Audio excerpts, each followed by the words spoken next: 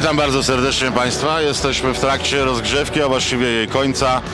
Za chwilę zaczynamy kolejny sparring z Rumunią. Przewidywany wynik prawdopodobnie ten sam, co był w zeszłym, y, wczoraj, przepraszam. Czyli gramy na pewno cztery sety i piąty będzie tiebreak.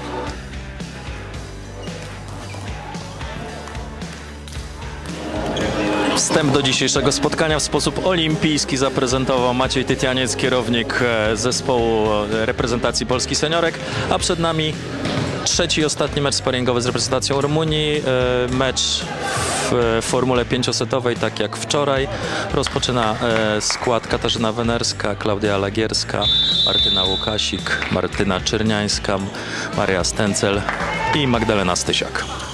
Pierwsza piłka, I od razu dobry atak po bloku Martyny Łukasik.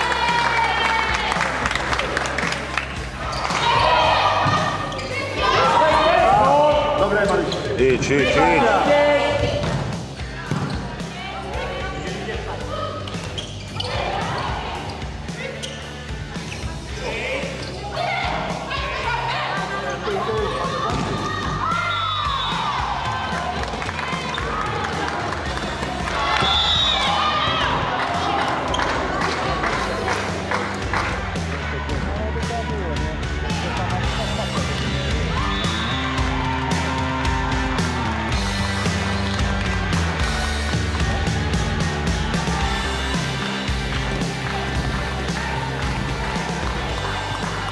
Dwadzieścia cztery do 13 prowadzi reprezentacja Polski w, w trzecim meczu sparingowym e, z Rumunkami.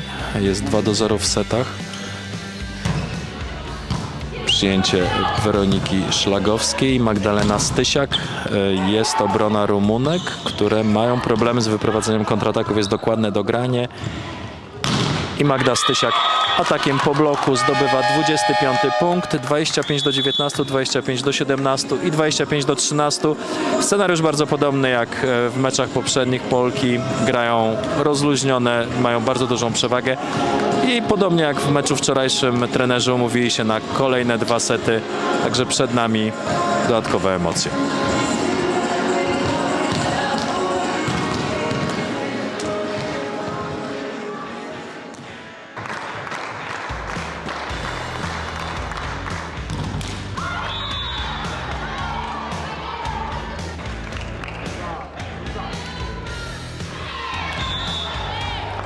Julia Nowicka 14 do 11 w piątym secie.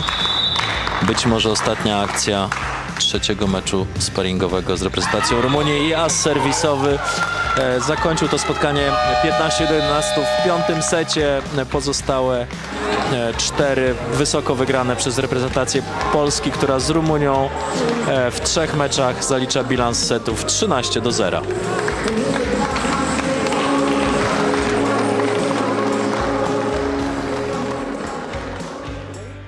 No dla nas na pewno nie były to za łatwe mecze teoretycznie, no bo trzeba utrzymać w takich meczach cały czas koncentrację, żeby jej nie, nie odpuścić. Yy, No i, i dzięki temu myślę, że mamy taki wynik, jaki mamy.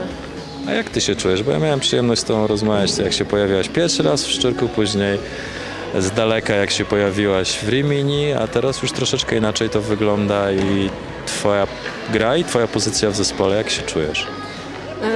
Czuję się bardzo dobrze, coraz lepiej, o może tak.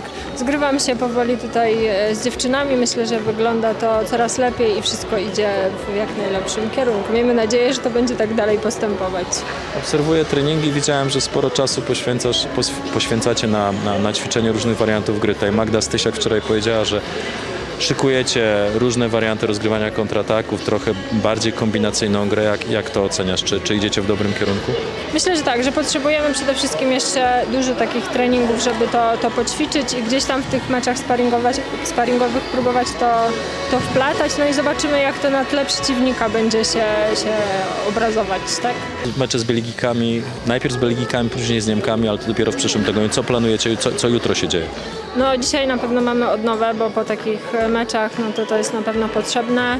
Jutro mamy zaplanowaną sesję i, i z tego co, co wiemy to chyba będzie wolne. No i od poniedziałku już przygotowujemy się pod te następne sparingi.